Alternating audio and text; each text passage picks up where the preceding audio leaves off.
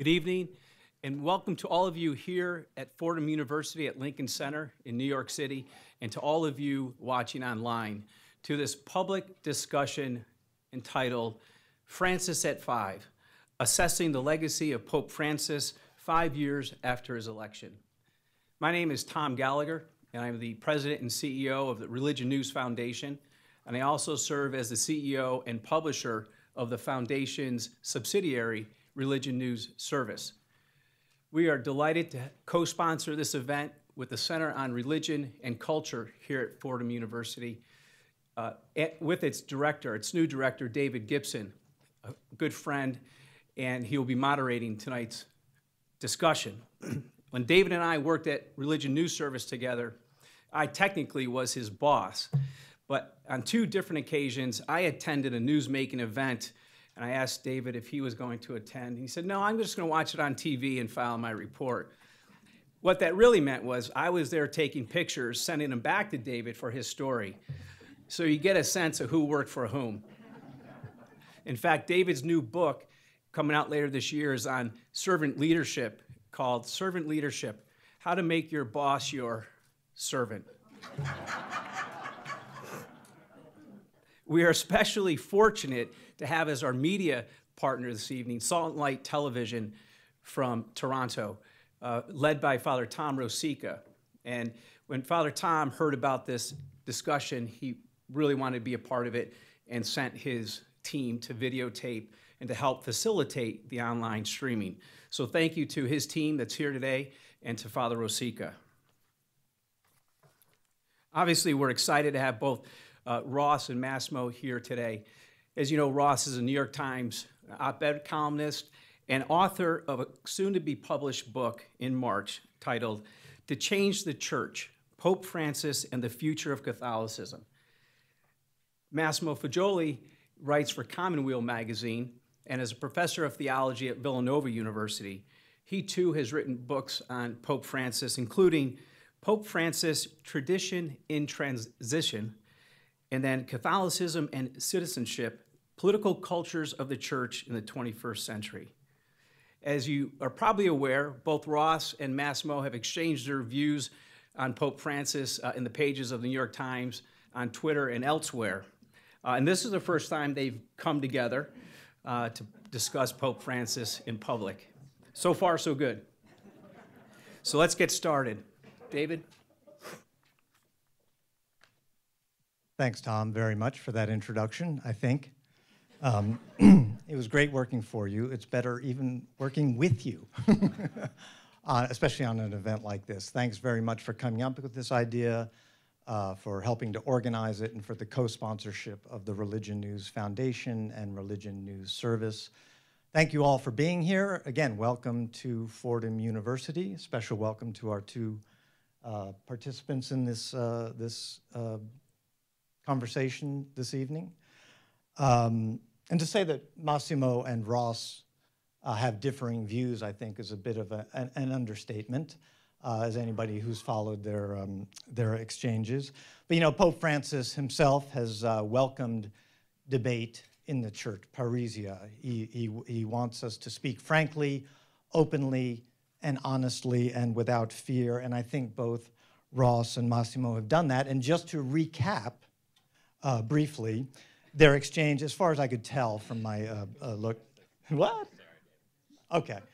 Uh, but it's been, um, it's been a, a lively exchange. We don't have to go over the, the particulars.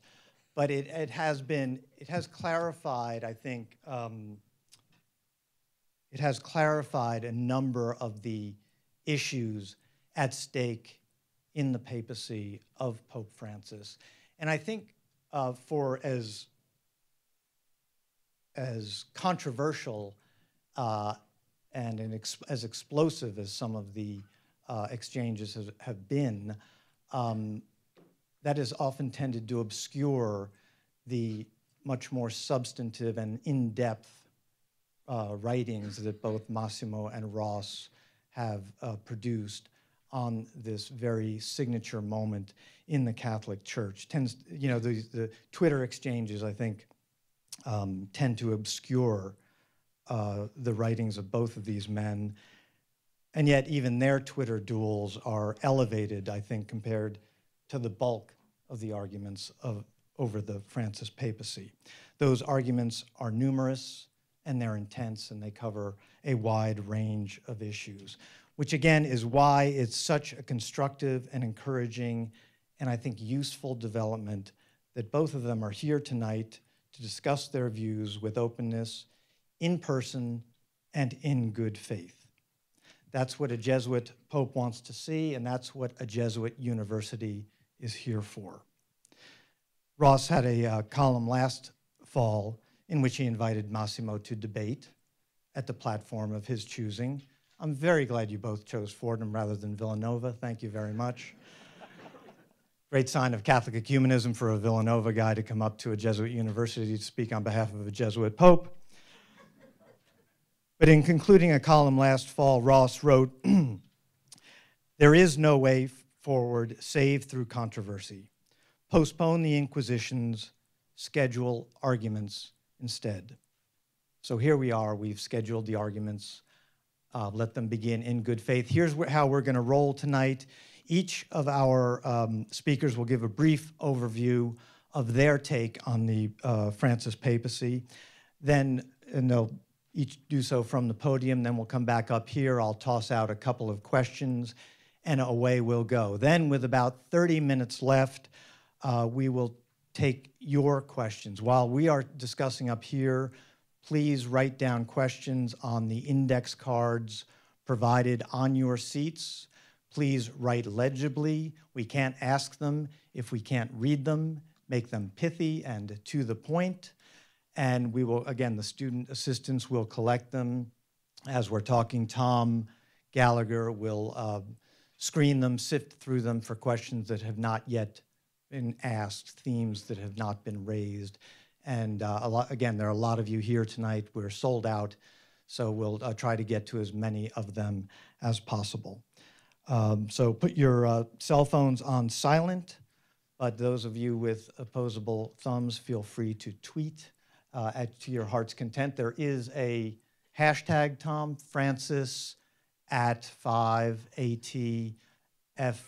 5ATFIVE. No event is complete without a hashtag these days. We all know that. Um, so who's going to go first? Should I flip a coin? We should get some more drama going? Yes, good. Yeah, absolutely. Let me see if I can do this. Super Bowl preview.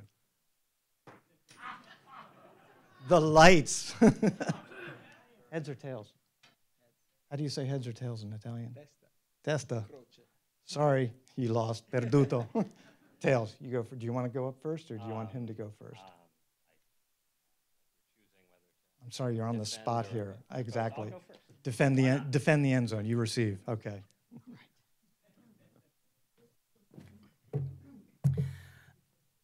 Um, well, thank you, David, for that very kind introduction. Um, thank you to Massimo for joining me for this exciting event, and thanks to all of you and to Fordham and to Salt and Light for making it possible. Uh, and hopefully, we will give you um, a, at the very least, entertaining evening, even if we don't resolve all the outstanding questions facing Roman Catholicism at the moment.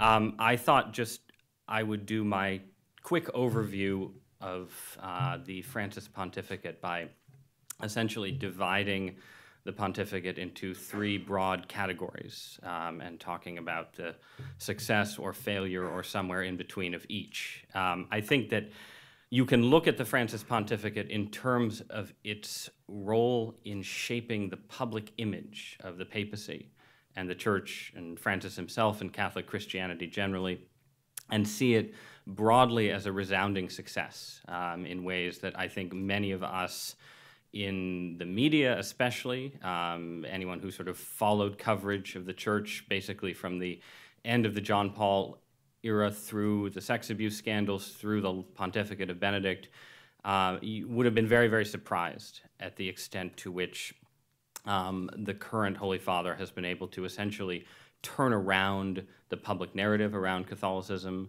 to, in effect, capture the imagination of a secular and jaded press, uh, for which I'm proud to work, and to, in effect, sort of model a kind of a kind of iconography of public Christianity um, that. Uh, you know, with sort of the paradigmatic example being the famous image of the Pope embracing a man disfigured by boils. Um, but to sort of take that kind of iconography and use it to remind a kind of semi post Christian West that there is still life and joy and hope in Christianity after all, and that um, Catholicism is not just sort of this purely oppositional force locked in culture war controversy, that it is something more capacious and potentially more appealing, and perhaps even, who knows, true.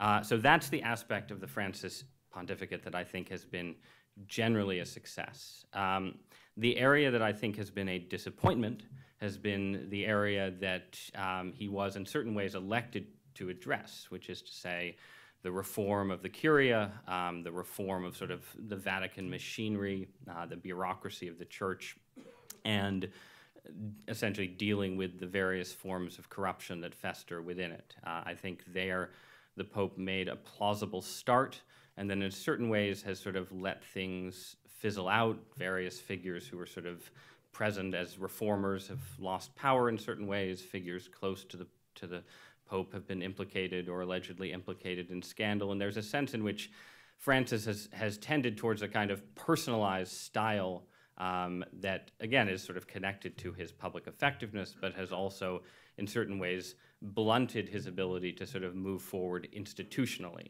Um, you know, so there, like certain ways, like John Paul II, I think he sort of worked around the Vatican bureaucracy and the Curia without really overhauling it dramatically. And you have a lot of cases with, um, you know, the Commission on Sex Abuse being sort of the most prominent example, where you've had some high-profile moves where the Pope demonstrates that he can actually step in and remove a bishop accused of failing to deal with sex abuse, and that's that's a big deal. But then you don't have the sort of follow through and institutionalization, um, the establishment of processes that are likely to outlast this pope.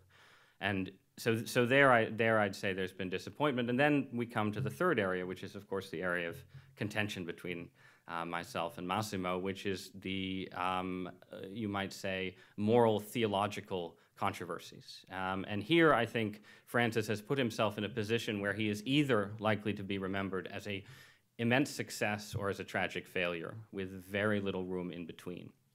Um, by which I mean he has pushed uh, matters with the controversy over divorce and remarriage being sort of the central issue, uh, close to a kind of breaking point and pushed for changes within the church, changes in the way the church, at the very least, presents its doctrine and teaching, but for many of us, those amount to changes in the doctrine and teaching itself in ways that promise a kind of crisis, um, certainly a crisis for the kind of John Paul II conservative paradigm uh, that was dominant, at least in conservative Catholic intellectual circles, for a long time.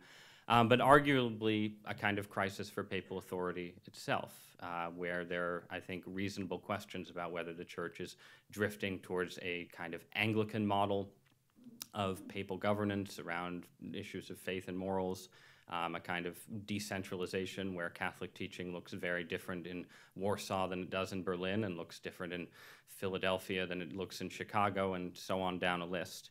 Um, and that I think is, you know, it's an area where it's it's very hard to assess. Um, my own biases obviously incline me towards skepticism, but I would say we're going to need the vantage point of 100 or 150 years to say whether this whether Francis has been sort of a genius who's accelerated a process that the church needed to go through to fulfill the true spirit of Vatican II, or whether he is essentially pushed for changes that it is really impossible for the church to make without turning into, in effect, a kind of a kind of liberal Protestantism in Catholic dressing. Um, so that's how I would at least frame it, and then hopefully we can get into the details and argue our respective cases. Thank you so much.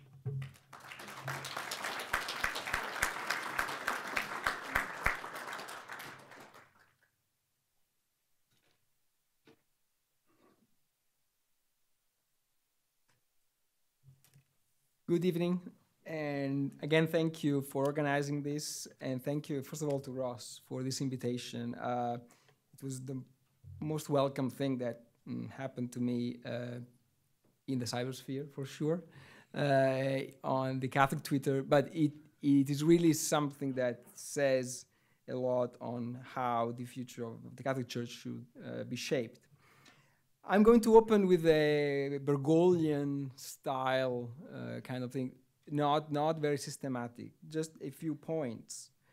Uh, this papacy, I believe, is a success because it's not about Francis. It is, uh, it sounds obvious, but it's about Jesus Christ. It's, this papacy um, is an embodiment of what we read in the Gospel of John, chapter 12. Men and women who still ask, even in, if not always in an open, direct way, they say, quote, we want to see Jesus. So that's why I don't think, and this will not be my way of uh, proceeding tonight to frame this pontificate in terms of continuity of this continuity. I find this um, an unhelpful way of looking at church history, at the magisterium, because assuming, looking at, at a pope, a pontificate, in terms of continuity, or looking at Catholic doctrine in terms of continuity or discontinuity, in my mind, assumes one thing that Christianity at some point was accomplished was complete. I don't think that's uh, true. I think that's uh, something that uh, has to get closer to Jesus. I think this pontificate is, is telling us, is telling me, that uh, in order to close to Jesus, there has to be some kind of discontinuity. So one of the things that I'm going to uh, reveal tonight is how traditional my theology is. But the traditional means a discovery of what changes, what can change. Now, Francis Pontificate is not about Francis also because it's not about what one may call papal positivism is not that we have to agree because he's the Pope. Uh, and here there is something that in this pontificate is very challenging for, uh, for so-called liberal Catholics because this Pope is not a, a, a reformer. He doesn't decide reforms by decree just to give you one example, uh, the, the reform of the Roman Curia, they announced the Apostolic Constitution in 2015, and then it was 2016, and then it was 2017, and last week, uh, Monsignor Semeraro says, this year will, there will be no Apostolic Constitution for, for and this is not a failure, I believe. It's a different kind of idea of reform. It's, it's a process that is, doesn't decide things because of a papal ukase or a decree. It's something different. This pontificate, I believe, is very important because it's about what we want to make of the Second Vatican Council. Uh, we are still in the middle of the reception um, it's a reception that has happened much more um, at the level of the intellectual de debate than in the real life of parishes. For some issues and for other issues the intellectual debate is totally lost on what has already happened in, in the churches I think Francis is revealing that kind of different ways of implementing the Second Vatican Council and is revealing some instincts of a return to a pre Vatican II period, uh, for some, even uh, the, uh, the, the pre Vatican I period, apparently. Uh, it's a pontificate that has become controversial for a reason that should not make it controversial, which is, and this is our major disagreement, is on marriage and and divorce and and the sacraments. Uh, I believe there is a fundamental misunderstanding of what the synod was about, of what Amoris Laetitia is about, of what this pope believes and wants for the church. Finally, I think there is one element that makes this pontificate very interesting for Catholics and non Catholics alike, because this pontificate really inaugurates uh, the shift of the Catholic Church towards a post-European, uh, and, and, that has a lot of consequences theologically, uh, culturally, and politically. It's the post is it's the first pope that doesn't come from a NATO country, and you can imagine how consequential that is um, in the in the in some boardrooms, in some governments, in some. So I believe that it is uh, a very good moment to to to talk about this pontificate because five years marks the period, the amount of time beyond which a papacy is not transitional anymore. Uh, we had Pope John for less than five years, and Pope John the 23rd has changed the church. And so Pope Francis is a longer pontificate than Pope John the 23rd, and I, I think it's not uh, too early to start uh, talking about that. Thank you very much.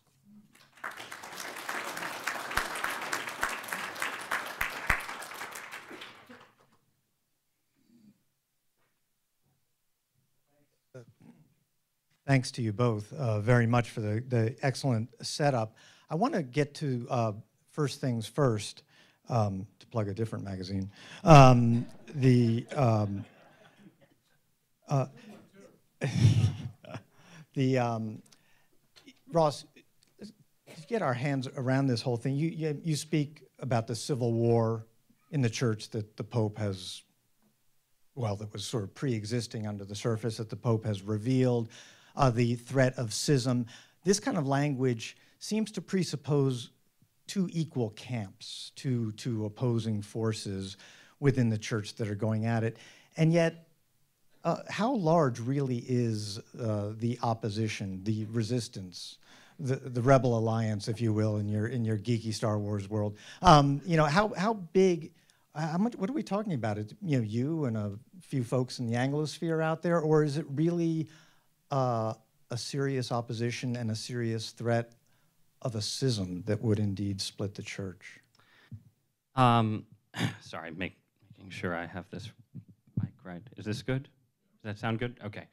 Uh, I mean, so first of all, to uh, to your question, I think it depends how you define the opposition. Uh, if you if you assume that the end game for this particular push for reform, change around communion for the divorced and remarried is something like the proposal that Cardinal Walter Kasper initially proposed, thus setting, with the, with the papal blessing, obviously, thus setting in motion the debates that we watched at the synods and thus setting in motion Amoris Laetitia and everything after. Um, and, and I'm defining that proposal, and this is going to be a little bit unfair, undoubtedly, to Cardinal Kasper, but as a situation in which decisions about whether to return to communion after a second marriage are made by the individual in consultation with his or her confessor, and where there is some kind of set path that people end up sort of following consistently, where it's like, you know, you have a six month discernment period, you have this amount of prayer, et cetera. It's sort of a penitential period, and then you return. I'd, I'd say that's sort of a reasonable, if slightly caricatured version of that proposal. Um, you could argue that the opposition, you know, comprises a majority, a rough majority of the world's bishops and cardinals, based on the sort of various voting divisions at the synods and the extent to which there was sustained opposition to going that far. Um, but so that makes the opposition sound very large, and it's why, and the size and strength of it, and the seriousness of those controversies, um, and is part of why I argue in my book and have argued in columns and so on for the real seriousness of this controversy. That this is an actual, actually historically significant sort of moment of theological controversy that we will remember in the way we remember, you know, Jansenist Jesuit disputes in the 17th century and prior theological controversies and the like. Um, but if you wanted to make you know, the other case, you would say that, look, um, yes, there was this, there was this sort of large-scale resistance, but once uh, Pope Francis found a way to sort of, you know, soft pedal things a little bit and essentially implement, again, what I think looks more like a kind of quasi-Anglican approach, where there is no official papal policy, or maybe there is, but it's advanced through sort of publications of private letters that are then slipped into the Acts of the Holy See and a year and a half later and so on. You know, it's, it's this sort of thing where nobody can quite agree on what the formal magisterium is saying. Um, to that push, you know, the, the open resistance consists of the bishops of Kazakhstan, the Dubia cardinals, um, and some, you know, ornery newspaper columnists with Twitter feeds. Um, and so I think the truth has to lie, therefore, somewhere in between the two. I would say generally that this is much more of an elite battle than a grassroots battle, uh, and that I think could be deployed to argue that it's not as significant as people making a much of it would say. At the same time, I'd also say that you know, in a world where I, it's it's a debate that gets at in a very, I think, significant way this larger and real sort of long-lasting civil war within the church. That you know, even if if you went parish by parish through the Western world, you would not find people arguing about Amoris, Amoris Laetitia in the pews or in sermons.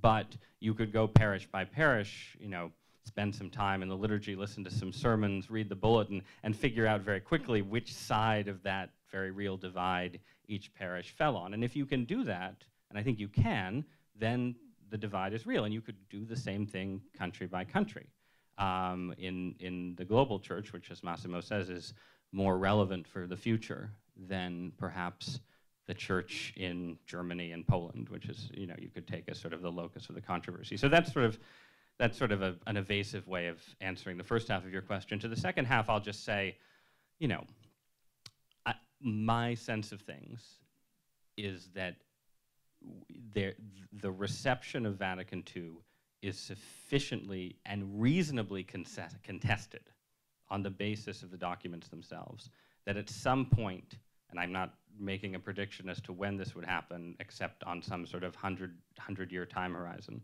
you will need some sort of actual settlement where certain questions are definitively answered. And at that point, it seems to me, in whether it's a future council or a future pope or some combination thereof, at that point, the divisions within the church that have sort of been brought to this sharp point by Amoris do seem sharp enough that it's very hard to, for me to see how you get through that resolution without the losing side feeling like it should just go its own way. So in that sense, I don't, I'm not predicting, you know, the great schism tomorrow with three popes, but I think that, you know, the post-Vatican II divisions within the church are wide enough that I, I would expect some breakages at some point down the line. what do you, think?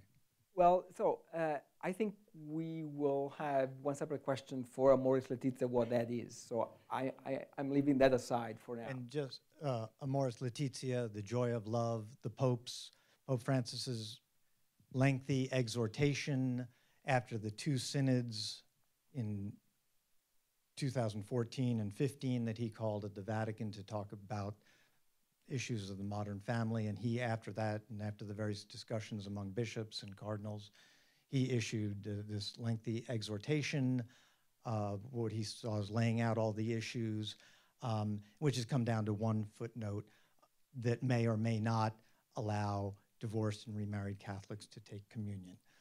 That's just to put it in a bit of a context. So when we talk about Amoris, thank you. Thank you. we're not talking, you know. Yeah. so here, so one first thing, one thing that I've learned and, and that transpired through my latest columns is that there is a resistance or an insurgency that I and many liberal Catholics, if this thing called liberal Catholicism exists, have underestimated. So it is small, it is more resilient than many of us expected. So this is uh, the first point. Second, when we talk about how many bishops were in favor of this or not, there's, there's one constitutional point that we should make, that the, the, the bishop synod is not the, the parliament of the Catholic Church. It's a consultative uh, body. It's technically one of the ways the Pope can use his papal primacy. So that is an important factor. I don't underestimate that, but that shouldn't go into our discussion on the legitimacy of the teaching, because that is just not pertinent. Third thing is this, is that the whole debate on Vatican II, if it's contested, I think, and I speak here from personal experience as an academic who has taught in Asia a little bit, in, in, in, in Australia a little bit, Europe a little bit, this problem of the Second Vatican Council, post Vatican II, is eminently a North American problem. Because when I teach, for example, full habit nuns from Southeast Asia, they have no problem at all with Vatican II, post Vatican II. And this is not something that, I mean, this is really a key factor. So I'm, I'm not saying that everything was fine after Vatican II, right? I mean, we know that the 70s were not exactly a period uh, free from uh, abuses sometimes, okay, but we shouldn't caricature, I think, what Vatican II was. So at the level of the theological debate, there is, I mean, that sounds Thatcher, Margaret Thatcher. But right now in the Catholic Church, there is no real alternative to the theology of the Second Vatican Council on the Jews, on ecumenism, on, on, on ecclesiology. Those documents, large, especially those drafted by Joseph Ratzinger, Dei Verbum has become the document on revelation, the scripture tradition. It has become right now the most important. So here, when we talk about Vatican II, I think we should say, sure, the reception is still happening we made, all of us made a few mistakes in the 70s, uh, but at the same time, I mean, I, I, was born in 1970, so I, I'm not technically guilty of that. I but made many mistakes in the November, 70s. November 28, 1979, so I, but, all so of oh. my mistakes involved This diapers. is, I mean, I believe that we tend to, to underestimate the value of that theology, to miss the distinction between what Vatican II was, what those documents said, and what happened in some cases afterwards, and, uh, and to overlook the fact that this Second Vatican Council was 50 years ago, and the most obvious equivalent is the Council of Trent in the 16th century, and the most important reform microphone is failing. Uh, Council of Trent, they were implemented one century after the end of the Council of Trent. So we are still in the middle. I'm not saying that everything is is perfect, is fine. I I I tend not to overestimate the divisiveness of the Second Vatican Council because my experience as a European theologian in the US is that Vatican II has, is much more divisive in the US than anywhere else for, for, many, for many reasons. So, so we have a problem in this church probably, but it's not a problem with the theology of the Second Vatican Council, and it's not a problem of other churches. So other churches have other problems, but they don't come from the wording of Dei Verbum 8 or something like that. No, I, I think that I, I completely agree, it, up to a point. Um, but but what I I mean I would have said as a some kind of conservative Catholic ten years ago, um, very much the same thing. That I don't think that that one of the striking things about the conservative liberal Catholic debate, even within the West, is how much both sides assumed the sort of, you know, the, the definitiveness of Vatican II in many ways. Um, and what was happening was a debate between, you know, essentially Communio and Concilium, you know, the sort of two, sorry, the, not to lapse into esoterica, but the, between a conservative interpretation of a liberalizing council and a liberal interpretation of a liberalizing council. Um, but the, the difficulty is that that debate does not seem to be resolvable through references to the documents of Vatican II itself. I mean, it, and when you come down to it, and I think we have in certain ways come down to it in this pontificate, Vatican II happened sort of before the social revolutions of the 1960s and 70s had fully happened. There was not a clear sense, there was some sense, but there was not a clear sense of what the specific questions facing the church would be 10 years out when the council began. And th those specific questions, the documents of Vatican II don't answer one way or another and license, and I think the liberal side is right about this, license multiple interpretations that you could call, you know, you can call one the John Paul II Ratzinger interpretation, you can call another the Spirit of Vatican II interpretation, but the, the possibility for both interpretations is there. And so you still have to have a way of resolving the question of, you know, does the church's moral teaching on the impossibility of second marriages still hold in a post-sexual revolution age? And to that question, I think John Paul II offered a pretty clear answer implicitly in Veritatis Splendor and explicitly in Familiaris Consortio. And I think by implication, at least, throughout and especially in this one contested footnote, um, Pope Francis's post synodal document offers a different answer.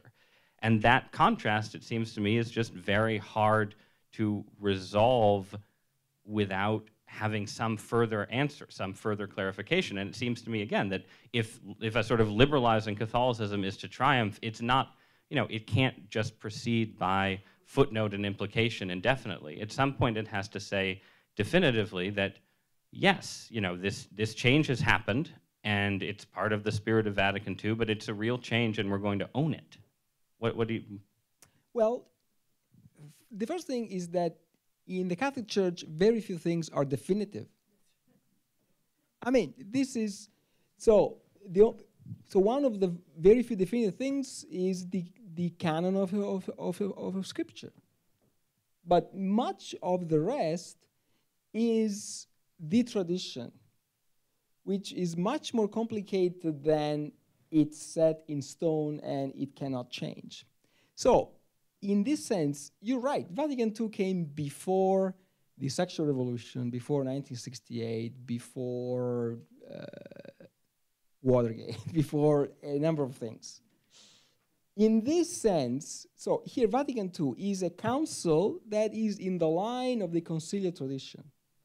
So in this sense, I'm not a Vatican II fundamentalist saying Vatican II is the last council because I've published on it. So it, it, that's it.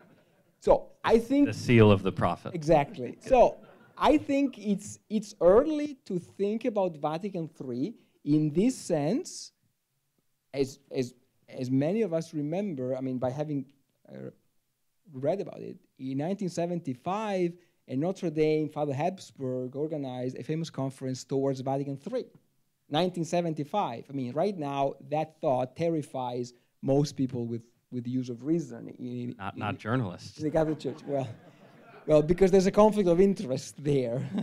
so here, Vatican II is a moment in the tradition. And we don't know when the, the, uh, the next council will be. My, my reading of the Second Vatican Council is that the future of the Catholic Church may be a step in a direction that is a bit different from the Second Vatican Council. I think it's very hard to imagine Vatican II being ab abrogated and going back on the Jews, on revelation, on scripture, on what what happened, I think, and that is the real problem, is that in these last few decades, liberals, again, if this exists, have underestimated that there is a problem with the tradition. For, for, for 20 years after Vatican II, most theologians thought that the real issue was ecclesiology, horizontal, vertical, uh, and so on. Now we have discovered that the problem is the tradition. What is the tradition? Because on the one side, you have neo traditionalists who think that we should go back to the 1860s or the 1360s and on the other side, there is the tendency to have a post traditional mind. So, this is the real problem. It's not Vatican II. Vatican II is part of the problem of the tradition. And so, that's why it's that problem that makes some Catholics, even liberal Catholics, make a Catholic social teaching argument stopping at Rerum Novarum, 1891 this is not how the Catholic social teaching works. And I don't blame them. They want to solve the issues with workers' unions and so on. So, but there's a problem in understanding how the Catholic tradition works. This is something theologians have not taken care of lately. And I see myself part of that. I, I don't think Vatican II is the problem because Vatican II is a very traditional teaching. But if you, if you don't take the tradition seriously and you just think uh, about the church of the future, that's why Vatican II becomes a problem. Isn't um, the, the other aspect of, of Vatican II, and, and going to your question, Ross, about or issue of uh, finalization and, and resolving ambiguities, but Vatican II is also a pastoral council. Isn't this a, an issue of, um, you know, what's etched in stone, what's written in the code of canon law, uh, versus engaging the tension between the law and pastoral realities on the ground, which is, again, what, what Francis is highlighting so much. I mean, to, to so many people, I think in parishes, Pope Francis is not that unusual at all. He's just someone who speaks like their parish priest would speak. I mean, can you, you, you know, in a sense, there is no one size fits all rule. You have, you have Catholic teachings, and then you have Catholic people. And isn't there always going to be a tension there in, in how, in, in that space between? There is, but the church also has an obligation, or presumably has an obligation, not to effectively evacuate its teachings in the name of pastoral flexibility.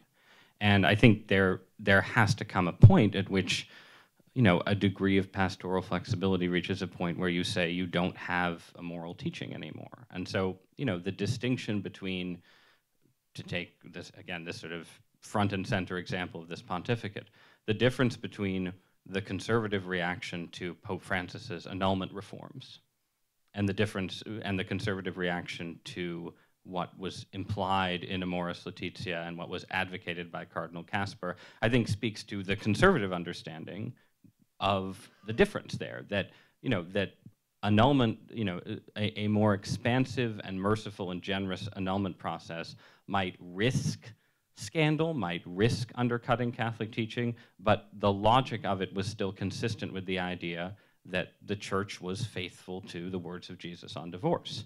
Whereas if you have a liberalized annulment process and a teaching that says if for whatever reason you can't go through the annulment process, we have a six month a six month passage to effectively making your second marriage licit, the church just doesn't have a teaching upholding the indissolubility of marriage. And you can say, oh, don't worry, it's still etched in stone. You know, so, you know, we can find the book somewhere in the Vatican. If you go online, you can still find these documents that's fine. But the church has a, the, the church still would have a public teaching that basically says, wink, wink, marriage is indissoluble unless your marriage fails, in which case it's not. And that's a, that's, that's a big leap. And that's a leap into, I think, a different vision of what the church is doing and a different vision of what fidelity to, you know, where essentially where Massimo started out. I think this, this really is in many ways the, the core tension of the Francis era is this debate about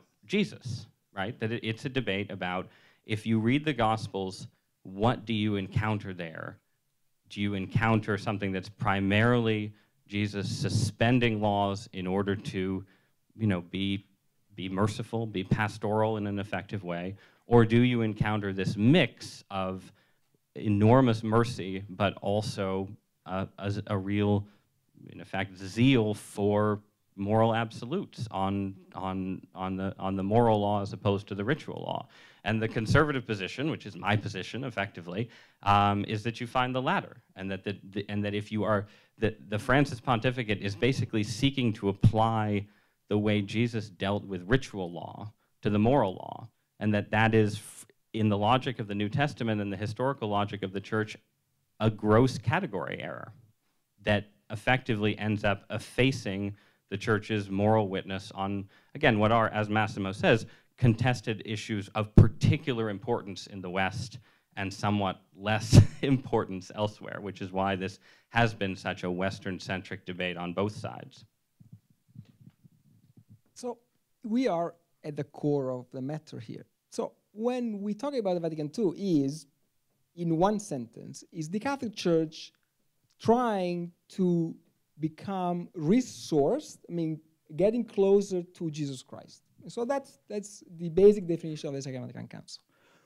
That's pastorality. So that is a church teaching that wants to behave as much as possible like Jesus. Now, what has happened under Francis? There has been no discussion about the indissolubility of marriage. That has never been in doubt. How does Vatican II operates in this pontificate in addressing the issue of marriage? Scripturally. So if you read Amoris Laetitia, this very long exhortation, chapter 2 and chapter 8, they go deep into one of the passages of Jesus talking about divorce, which is not Mark 10 or Matthew 19, where it's clear that Jesus is against divorce. There's no question about that. We know Jesus spoke those very words. So there's no question about that. But Amoris Laetitia says we should look at how Jesus deals with those who are already divorced. That is the synod. So, John 4, the Samaritan woman, Jesus asked her, Are you married? And she says, Yes, no, actually, you have four husbands before. So, that's how Jesus addresses the issue of somebody who's already married. So, here, this, the, the exhortation makes a scriptural argument that is not a liberal theology unless you think that that building, church teaching, based on the Gospels is liberal teaching. I don't believe that. So I don't want to caricature Ross's argument. So I, I'm not saying that your argument is ideological. I mean, I think is genuine. I, I, I don't question your motive.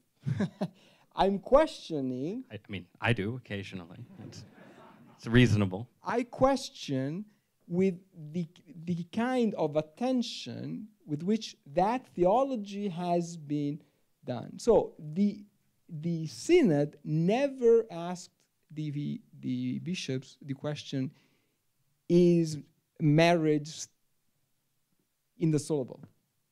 that has never been into doubt is how to deal with those who are already uh, divorced. And in John 4, at the end of that chapter, it says, the way Jesus uh, treated that woman made of that woman a disciple that converted a lot of people in Samaria. So, this is some, I understand that a change in, in the texts. And by the way, a lot of Catholic teaching happened through footnotes. I mean, Catholic fathers invented footnotes. Really, I, am not kidding. That's why, I mean, every theology book should have footnotes and not endnotes. But so, a footnote in a footnote in Gaudium et Spes, 1965, is what made able John Paul II in 1992 to rehabilitate Galileo more than 300 years after his condemnation. So footnotes have a role, have a history. So I don't underestimate the questions that arise. But I don't think there is a, an argument that can be made about this Pope undermining the, the teaching on marriage. Now, in America, in North America, in the US, the issue of family and marriage has a place in the social, religious, cultural canon that is completely different from Europe. And I understand why here this issue is different. But short answer, I mean, short, long answer, but it's more a cultural discomfort than a theologically grounded issue, from what I can see.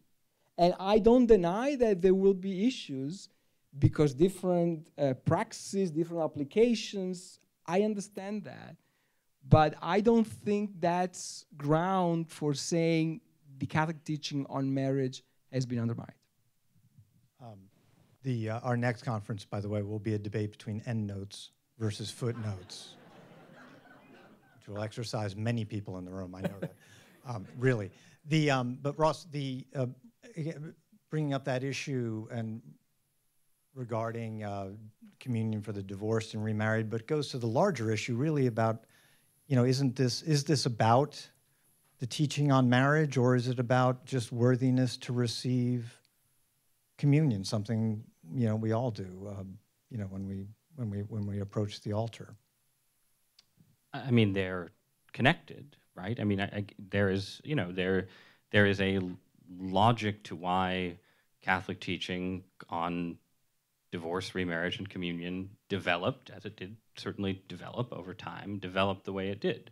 And, uh, you know, the internal logic is um, sort of boringly straightforward in certain ways that, uh, you know, that there are contexts of grave sin in which you're not supposed to approach communion for reasons of scandal to the community, but also for reasons of your own protection from sacrilege. Um, and again, that you can imagine a Catholic Church that had developed a different sacramental theology and a different logic of the relationship between marriage, divorce, sexual sin, the confessional, and the Eucharist, and so on. But in the church that has actually developed, which as Catholics we are generally bound to think has, you know, had the guidance of the Holy Spirit, you have ended up in this position for reasonable reasons. And again, the shift the shift that is being envisioned and imagined on pastoral grounds again, seems to me, in my you know non-theologian's naivete, as more of a rupture and a break than a continuous development. And I, I mean, I don't know how deeply into the weeds we want to get, but you know, the the point that Massimo makes about the Samaritan woman is not a point that sort of people involved in formulating these ideas over time had never considered before. Modern theologians are not the first people to realize that in contexts other than the prohibition on divorce, Jesus is very welcoming to sinners and friendly to sinners and so on. It, it, there is a logic to the view that there are forms of welcome that you offer and extend to sinners regardless of their situation. And then there are things where you ask for sincere amendment and repentance and and a change of life situation before you admit people to communion. And I mean, to take a non North American, non European example, some of the opposition to the changes envisioned didn't come from North Americans or Poles or anyone else, it came from African bishops. And African bishops deal with a context that, in its own way, is very like the Samaritan woman situation, except instead of having four husbands over time, they're dealing with people who have three wives at once, because Africa has, a, in various parts of the continent, has a long-standing tradition of polygamy. And at present, the church is in the position of welcoming and trying to convert polygamists and to effectively make disciples and followers of them, as Jesus did to the Samaritan woman, while also asking them to bring their marital and sexual lives in conformity with church teaching. And of course, on the ground level, there is all kinds of messiness and flexibility and everything else. But the fact of church teaching, the fact that you are asked to make this change as you become a Catholic Christian, is still a reality.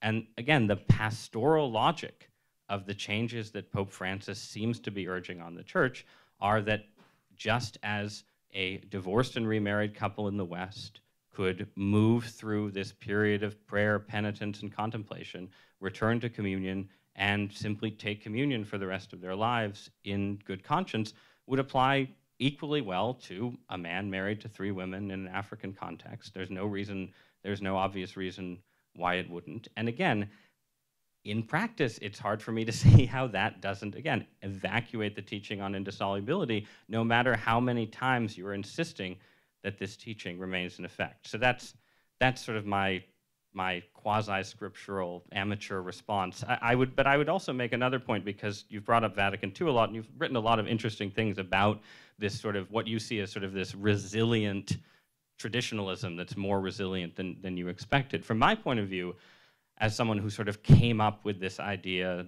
not came up personally, grew up with this idea that there was a sort of successful John Paul II synthesis around interpretation of the Second Vatican Council. What's striking to me is not the resilience of neo traditionalism that looks back to the world before the Council or the world before 1870. It's more the fact that a revival of that is an inevitable response to the kind of stronger hermeneutic of rupture that's implied by the Francis pontificate, where you have conservatives, especially younger ones, in my experience, who look at the John Paul II synthesis and say, well, if it leads you to this era of greater rupture, then maybe the synthesis was a mistake. And that's how you get this reconsideration of the Leonine Magisterium, the Mortara case, you know, and, and so on down a parade of, of, of um, of interesting controversies from the 19th century. And again, to sort of go back to this initial question about, you know, long-term divisions in Catholicism, it seems to me that this is, this is the dilemma facing liberal Catholicism right now, broadly understood, that the further it pushes, the more effective changes it introduces and succeeds in winning, the more it sort of vitiates a kind of center-right Catholicism and pushes people who believe deeply in continuity towards the kind of neo-traditionalism that you know that that you find sort of shocking and and surprising in its resilience. I'm I'm curious what you think of that dynamic from the point of view of looking ahead 50 years in the life of the church. Well, we don't know who's going to win the Super Bowl, so 50 years is is, a, is We know who's going to win the Super Bowl. come, on, come on. You've been in America long. I mean. Um, so here I, I think one important problem that happened in these last few years, one of the unintended consequences of Pope Benedict's speech of 2005 on continuity discontinuity, uh, which has created a number of problems, is that that allowed a new traditionalist fringe to say, well, there is discontinuity rupture, and that's not Catholic. That's the event of the Second Vatican Council, the spirit of the Second Vatican Council, so on. From that step, we went in these last few years, few months, or few days, I mean, from the delegitimization of the event, of the spirit, of the post Vatican II, to the delegitimization of the documents of the Second Vatican Council. Because if a major conservative Christian magazine publishes something on the Jews that ignores completely Vatican II, Paul VI, John Paul II, Pope Benedict, Pope Francis, there's something that went really, really wrong. And this is not the fault of the Second Vatican Council. But what, but what if it's, independent of the Second Vatican Council, what if it's a almost inevitable reaction to the Pope Francis interpretation of the Second Vatican Council, well, where you can always go beyond what you know what seemed to be a sort of John Paul II interpretation? Well, what is typical of every pope after 1963, when the new pope is elected, is that one of the first speeches is their plan for this Vatican Council. What do we want to make of this? In Francis, you don't have that. You do not have this kind of statement saying my hermeneutic is. So I, I frankly don't see this rupture that here Francis is identified with. So here, John Paul II is the one who, in 1986, in a couple of weeks, basically, goes to Assisi to pray with all religious leaders from all around the world, with the opposition of all the cardinals, except one, Cardinal Etchegaray. All the others were completely against, and goes into a, a mosque, a, a, sorry, synagogue of Rome. In 2000, in, he walks into a mosque. He was a pope of rupture, if we want to frame the things in this way. So here, Francis is one who is much more cautious. So I agree completely with you that John Paul was a rebalancing factor against the Hans Kung, uh, the, this kind of extreme liberal. But I, I don't see Francis much more rupturist. If anything, less. Actually, if anything, less. What makes of Francis, in, in our eyes, more radical, it's because he speaks the way he speaks. his style, because of his, uh, his what you have called populism, bypassing the institution, bypassing everything. But theologically, Francis is not Hans Kung. I mean, he's a failed doctoral candidate in Germany. No, really, I mean, that means something. That means something. So here, I understand the perception of Francis as a discontinuity pope.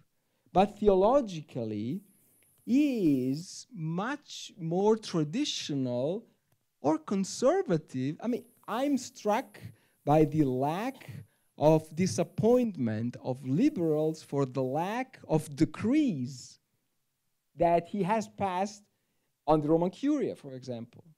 I mean, is Pope Francis a liberal when he, he appoints Cardinal Sarah as prefect of the congregation for the liturgy? That's my question. no. But when he removes the people under Cardinal Sarah and replaces them with people opposed to Cardinal Sarah, it's fair to say that perhaps he's favoring the liberal side of certain arguments. Uh, I mean, I mean, the I, I feel like so I I have this feeling often in these kind of debates, so I want to push you on it a bit. From the point of view of the German bishops, let's say, there is clearly a specific agenda that they desire. I, I, think this is this is perfectly obvious and has been obvious for, for decades. And the and the agenda begins with um, communion for the divorced and remarried, which was something that Cardinal Kasper and others urged in the 1990s and were explicitly rebuked and rejected uh, by the Vatican at that point. And it continues through experiments with blessings for same-sex unions, intercommunion with Lutherans in some form, and so on, down a list of what are effectively liberal causes. And it, it seems to me very hard to deny that all of those causes have been explicitly or implicitly advanced by the, again, I agree, informal, non explicit, heavily footnoted magisterium of this Pope. Now, you're quite right that John Paul II was also an innovator in many ways relative to previous popes.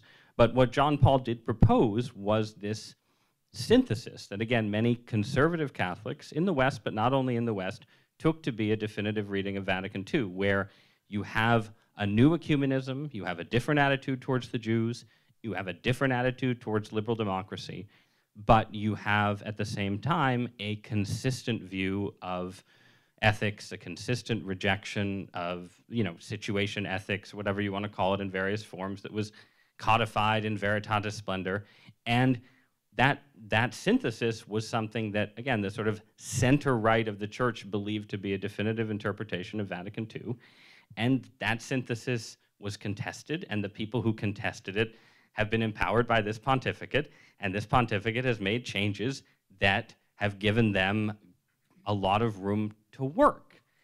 And I, I just don't I don't understand the, the the need to deny that reality. Like that's reality that, that is the change of the Francis era, that it is now possible to say definitively that the papacy allows for changes around these contested issues of sexual ethics that seem to be not permitted under John Paul II and Benedict, and Western centric though it may be, that's a big change.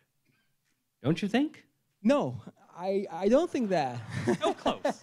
Honestly. So, here, John, uh, I'm sorry, Pope Francis hasn't changed canon law. As the conservative canon lawyers online are very intent on affirming. Yes, I, I yes. So, what he has said with this teaching, he has given this teaching to the church for a process of reception. There's something Catholics have learned from Humanae Vitae, 1968, when all episcopal conferences, after they understood what kind of situation I created, they wrote letters saying, Holy Father, your letter is splendid. By the way, all Catholics have a conscience, so you can decide. So this is a document that opens a process, and we don't know how it ends, when it ends. Okay, so this Pope hasn't decreed first. Second, one of the most interesting books, I mean, published immediately after Vatican II was of a, a pseudonym called The Rhine Flows into the Tiber, the German conspiracy taking over the Catholic Church. Now, I, I studied in Germany. I don't deny that there's a, se- there's a certain self awareness, self sign of Germans that I don't think we can really imagine that this whole process is, is, is driven by German bishops. I mean, they are a very important theological voice. It's a very rich church. I have lived in Germany. I've lived in Berlin. So one of the most secularized cities in, in the world. So when you have 50% of Catholic marriages that fail, under the Code of Canon Law, that means that at least 50% of all children in Catholic families, they never see their, their parents receive communion. I, I honestly, I don't think it, it is something that helps the evangelization of the, of, of the church. I don't think it's something consistent with the gospel. So for a long time, the difficult question was what has the individual faithful have to do to be up to uh, the sacrament? The, the Catholic Church in this last century understood that the, the question has to be asked the other side what can the Catholic Church do to make the faithful able to receive sacraments? And I don't deny that that's difficult. I don't deny that that raises questions. I tend to be skeptical about framing this in terms of liberal theology. I mean, Cardinal Kasper comes from the Tübingen School of Theology that is an, a, a school of Catholic thought that is apologetics. It's not liberal. It was founded to counter liberal Protestants in the early 19th century. So I, it, it's, so now it's the 21st century, of course, things have changed, but their instincts are not as liberal as we can imagine. That is true. Isn't this uh, cutting to the chase, though? Isn't I mean the big question here is about whether the church uh, can change, develop, and how it does. I mean, when you're in the midst of these discussions, um, it seems as though everything can be up for grabs or everything is contested. But isn't this, and even what we're doing here this evening, isn't this how change, consensus, development happens? Is that such a bad thing? Can it happen? I mean, your your your Erasmus lecture a couple years ago was a was a I thought a very potent challenge, especially to the conservative camp, to come up with was it not a kind of theory of development? Uh, you know, I mean, I, I, think both. I think both sides lack a potent theory of development. That I, I feel like you know the liberal side is constantly in danger of essentially defining development as effectively the papal positivism that I'm glad to see Massimo reject, where it's sort of, you know, if as long as this pope, this present pope says something, then that's development. It must be the Holy Spirit. Therefore, submission and assent is required, unless it's a conservative pope, in which case we can contest it for a while until we win.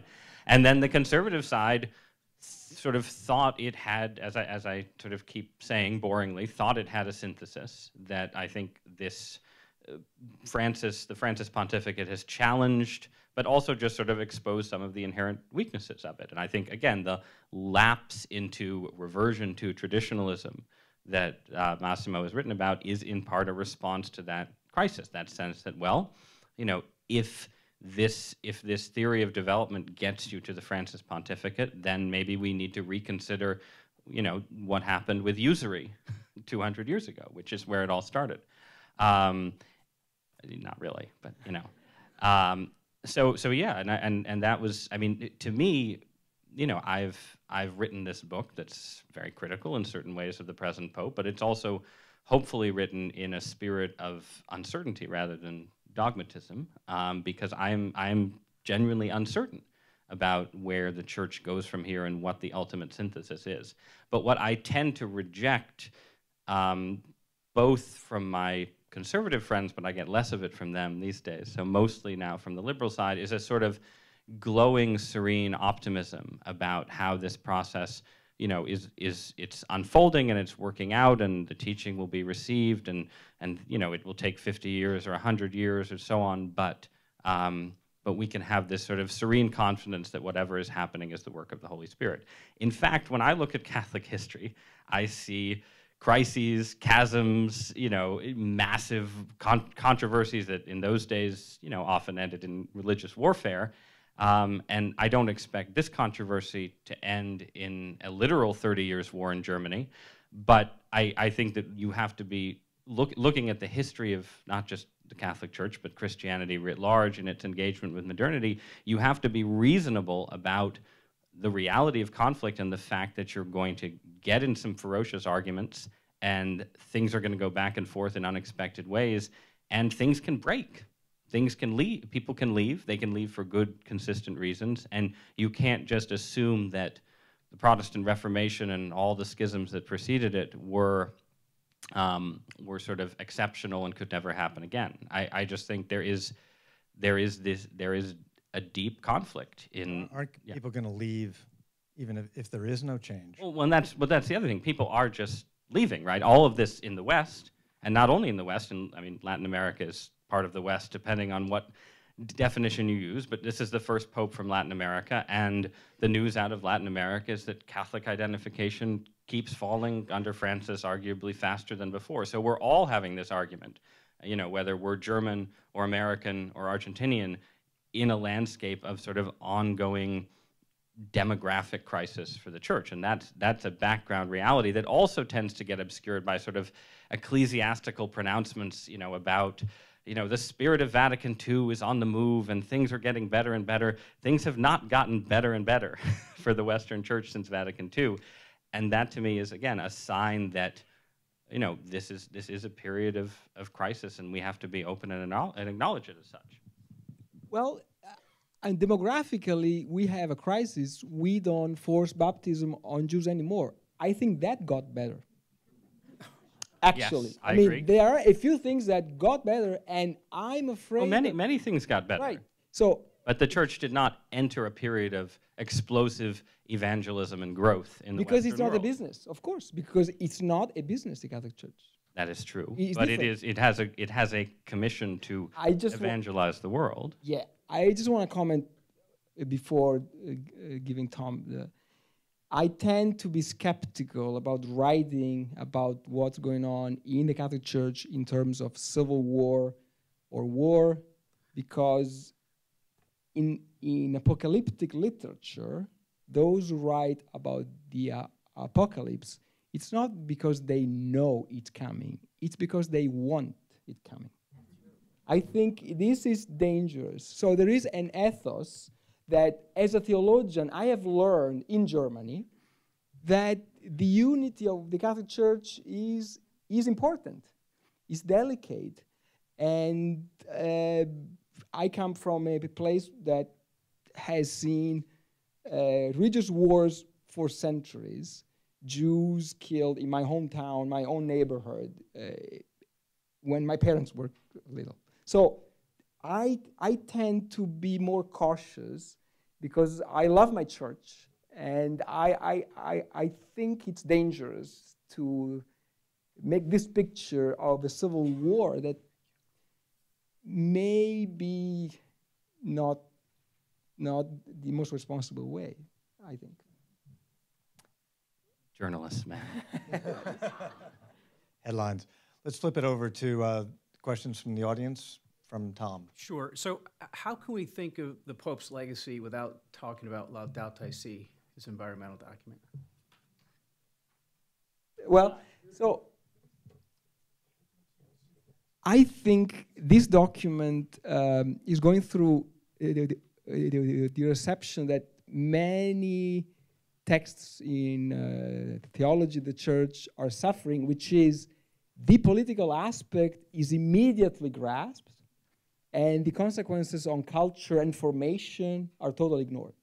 So Laudato Si is an encyclical that is primarily not about the environment or creation, it's about power and about knowledge.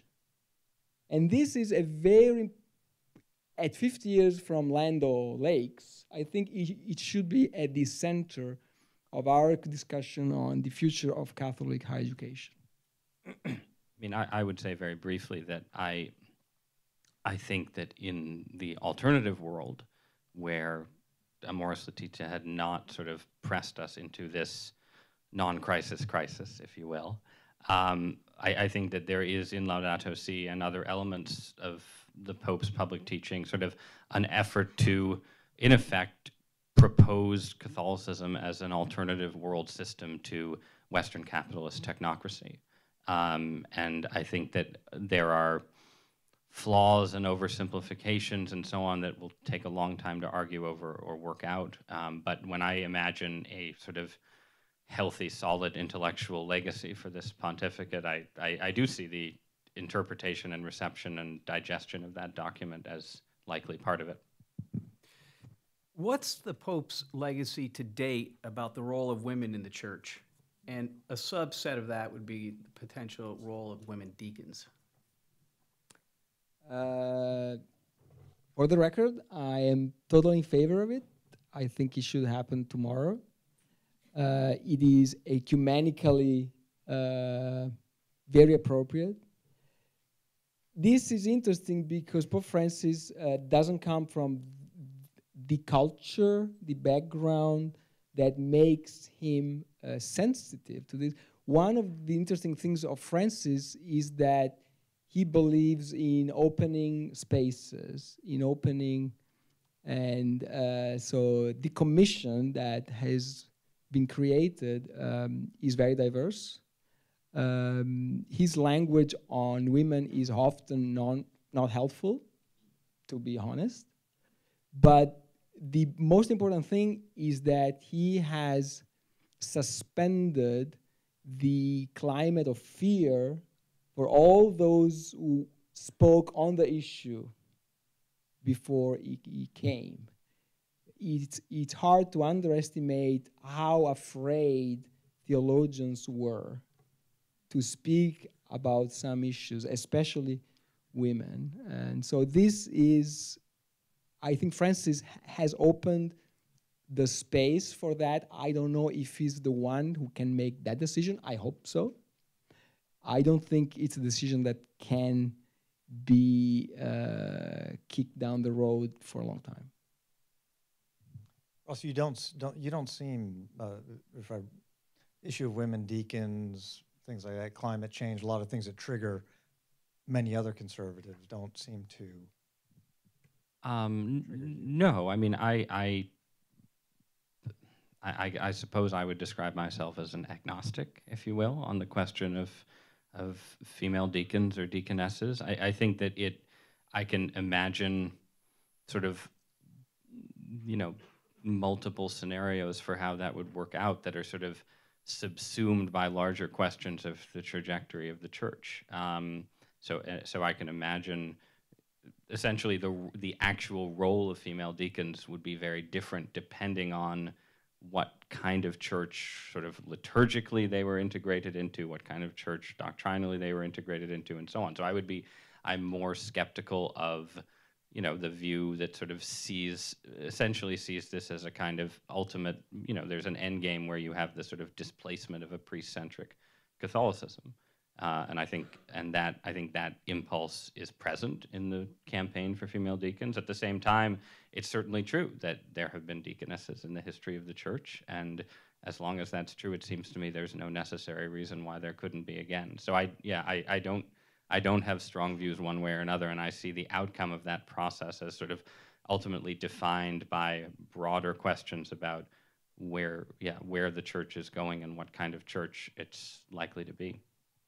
Um, and I and I generally think that you know the the cause of sort of moving, find you know finding ways to integrate women into positions of power and responsibility within the church is one of the more reasonable and admirable aspects of sort of quote unquote liberal Catholicism.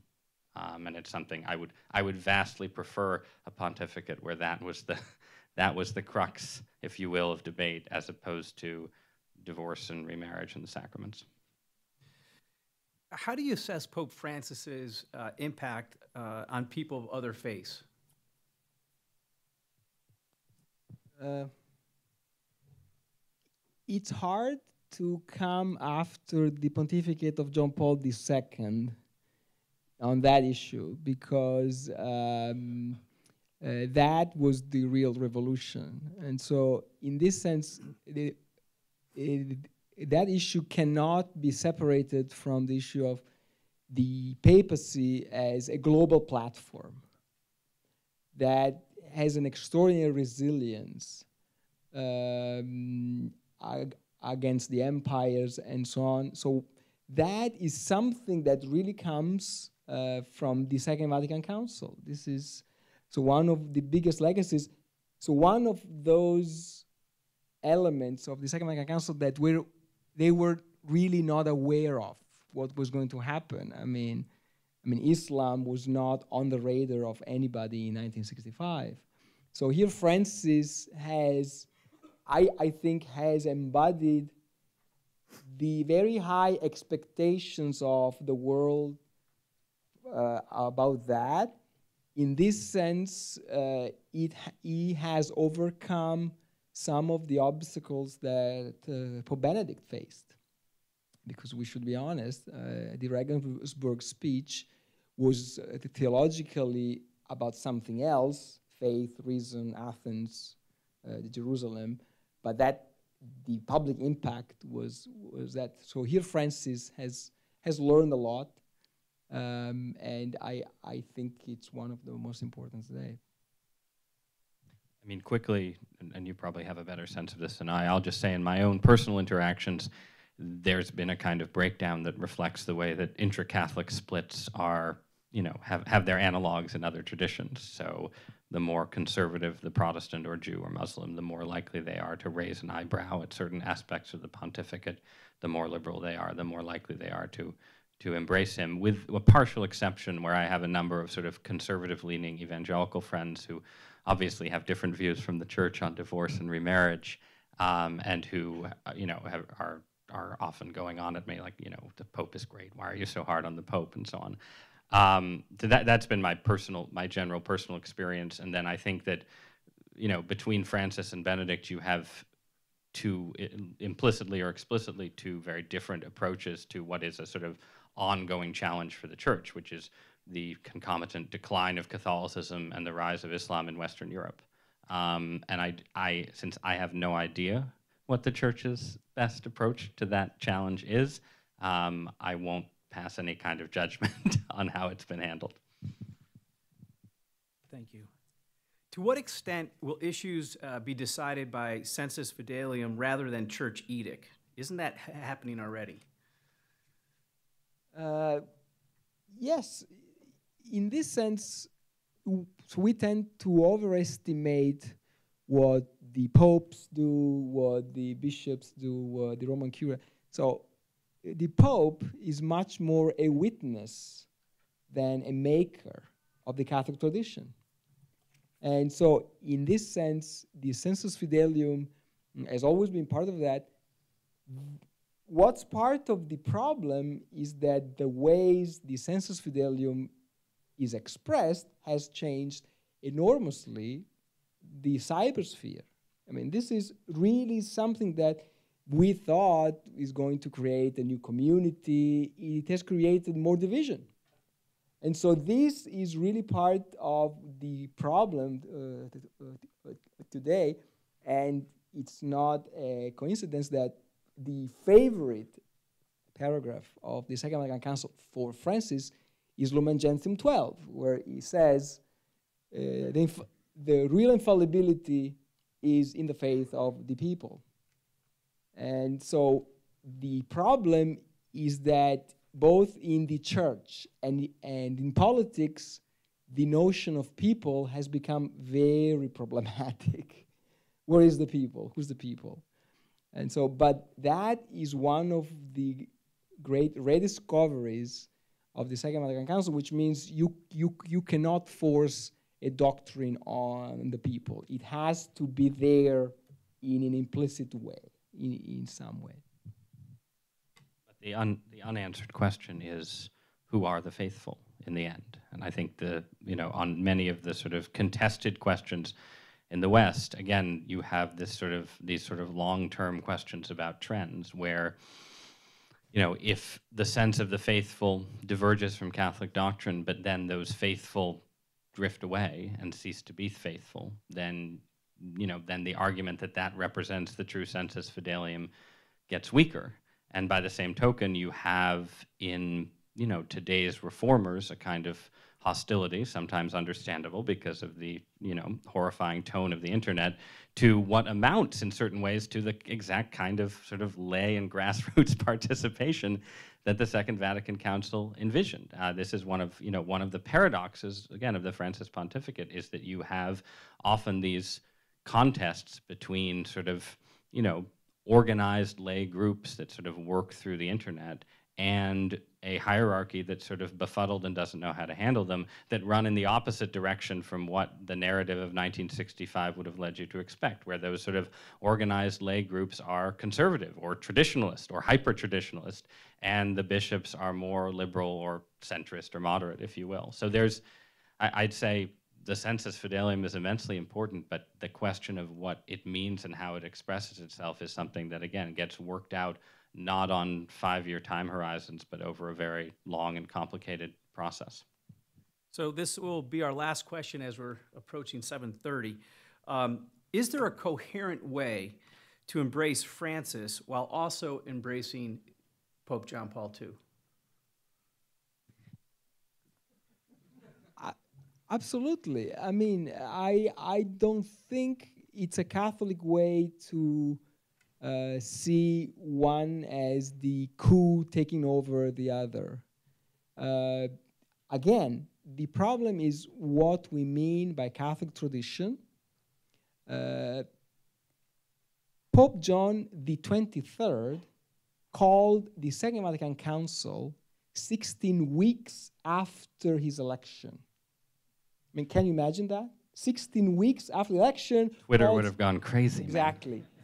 A council that nobody thought it was necessary anymore because with papal infallibility, who needs a council? So we have recently overestimated, overheated this issue of continuity, which has been handled in a much more sane way, healthy way, before these last few years. And I don't see any need to see one is my pope and the other is not my pope. So they're different, of course, intellectually we have to understand that, but I don't see one the revanche on the other. Um, I mean, I think if you if you make things very general, then it's very easy to see them as in continuity. Uh, I think when you get to the specific questions where elements of Pope Francis's subtle and ambiguous magisterium seem to be in tension with fairly explicit things that John Paul II said, it gets it gets much harder. Um, and and I think that you know again this is my boring literal mindedness at work, no doubt, but you know when when you have the appearance the more that you have the appearance of reversal on very public heated and controversial questions the more you have a hard time arguing that there is this real continuity between them. So just to bring it back again tediously to this very specific question of communion for the divorced and remarried, I think there have been attempts to interpret the footnote and everything else in Amoris Laetitia as saying, look, there are provisional circumstances when people are in troubled relationships and bad situations and don't have a full understanding of the Catholic faith, where they might take communion provisionally on their way to regularizing their situation or escaping from this relationship or something. That to me seems like the most plausible reading of the, that puts the documents in continuity. That puts John Paul II's view on this and Francis's apparent view in this of this in sort of in continuity with one another. So if we look back 50 or 100 years from now and say, look, there was clear continuity, that's that's the way I could imagine it happening. The problem is, again, that the what seems to me to be the liberal endgame, if not the Pope's own endgame, is not a situation where communion for the remarried is this sort of provisional, temporary pastoral solution, but a situation where second marriages, as long as they're stable and have children, are effectively regularized and people aren't it's the opposite of doing it provisionally. It's doing it it's temporarily abstaining on your way to a permanent return that you know that essentially um, essentially again vitiates the church's commitment to indissolubility. So the more the second interpretation comes to predominate, as it clearly has in many of the dioceses interpreting Amoris in an expansive way, the harder it becomes for me to say as a Catholic that there is real continuity between these two popes on this issue, and the harder it becomes to defend the idea that the church proceeds through development rather than crisis and rupture. May I have one sentence? The Catholic tradition is not a mineral, it's an animal. It moves, it adapts, it grows. That's my image. So here, I tend to avoid systematically the word continuity, discontinuity, because this is not, not Uh, not appropriate to understand the Catholic tradition. So there are differences, yes. Not every difference is a discontinuity and it, it, it's a rupture. We could go on until can midnight. I, can I just add, we could, but could I just ask? So, in in your view, a priest, churchman, layperson, whomever, in the year 1372 who? 1372. 1372 to pick a year. 872 1572 i don't know why i'm going with 72s um, a person in that era who told a remarried person um, king of england hypothetically. No um, the no an, an, ordin- an ordinary no an, no an ordinary and much more sympathetic uh, figure that they should not that they should abstain from from communion. Was that person telling them a lie not, I mean, a lie is a strong term since they weren't conscious, but a, a falsehood. Was that a, was, were, were those people misled Theology, into thinking that they were, you know, th- that, they, that they had to abstain and be separated in some sense? Was that, were they misled? I, there are different responses to the same question in different times.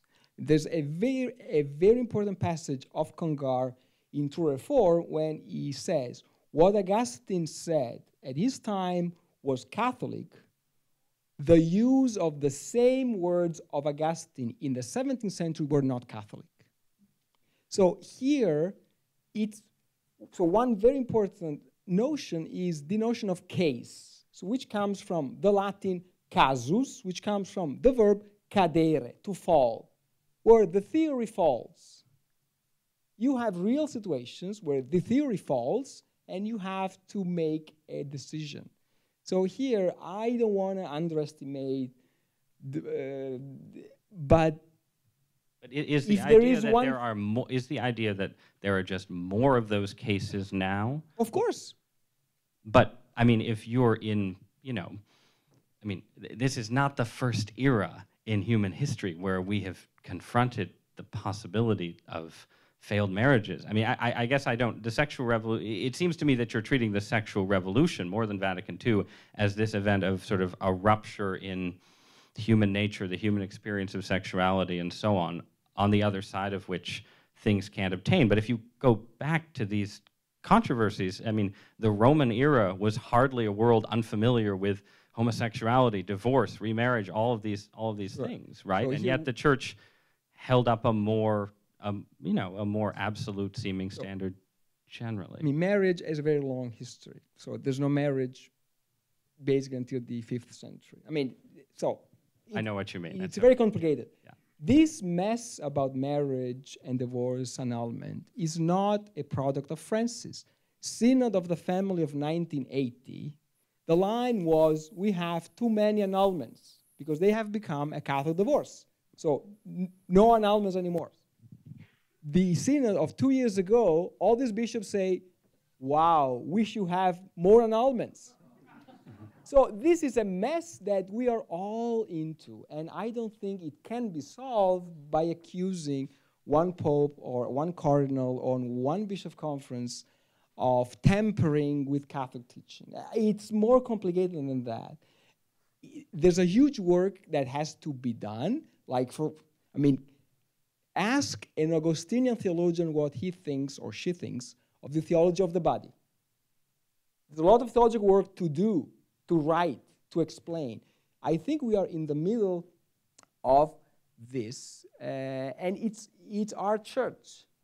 And I think there is a, a way out together that is much, much less dramatic than you see. I mean, I'm more optimistic, maybe because I'm Italian. I don't know. but that's, that's my, my take.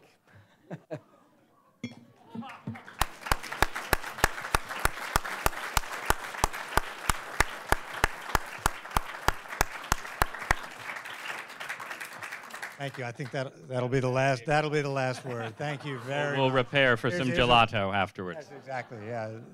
The Italians win the cuisine at least. so- At least. Thank you very much. We, um, it was a great evening, a failure on my part, and, and I said we wouldn't leave this room until we settled every question. But I guess the uh, sensus fidelium continues, and as I believe as it should do, and this was some small part in it. Thank you both very much. Please join me in thanking our speakers.